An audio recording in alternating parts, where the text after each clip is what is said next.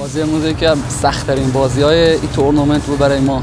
واقعا بازی کردم با تیم شنزن اونم دو تا از بهترین بازیکنان آسیا و دنیا آقای حسن زاده و سرجینیو که توشون بازی می‌کردن. واقعا برامون سخت بود. ما با برنامه بازی کردیم.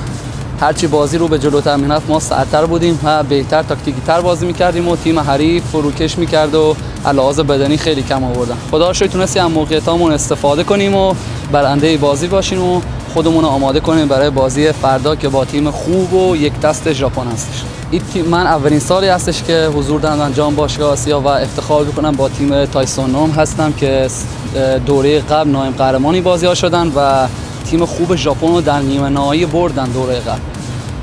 پس یک بار باشون بازی کردن تونستم ببرن. انشالله فردا هم روز ما باشه و بتونیم با یه بازی خوب با برنامه بتونیم از موقعیتامون استفاده کنیم و برنده بازی باشیم.